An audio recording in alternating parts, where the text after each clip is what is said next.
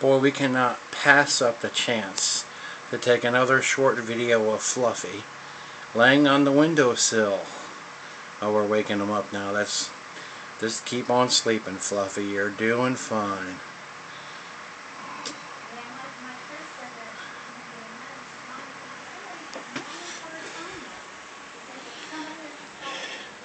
You want to say anything for the camera?